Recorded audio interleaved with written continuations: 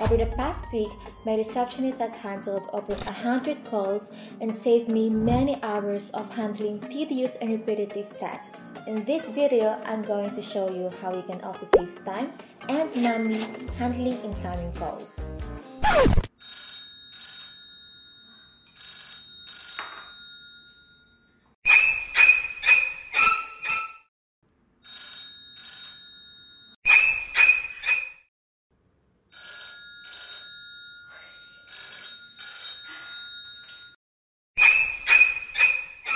Have you ever had a day when you spent so much time answering customer queries that you felt like nothing important was accomplished that day? How many more hours will you spend on the phone over the next week, next month, or even next year? Dozens? Hundreds? It doesn't have to be that way.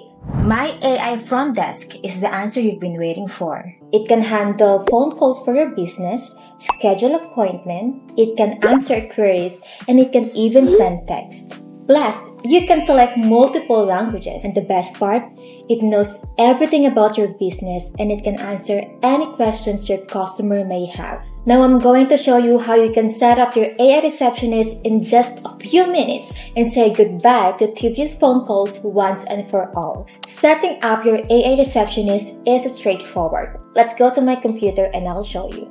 First, click Start Demo in our website and start by choosing a voice. You will see here we have a few options and my favorite one is Asteria. Then you'll enter your business details, your business name, phone number, and your preferred languages. The next step is customizing how it handles the queries and commands like booking appointment and transferring the call. Finally, set your password, complete the CAPTCHA, and create your AI. And that's it. Your AI receptionist is set up and ready to answer calls. Now, Let's see how well she does the job. In this example, I have set up an AI receptionist for a fitness center called Gym and Tonic. Let's see how well she does.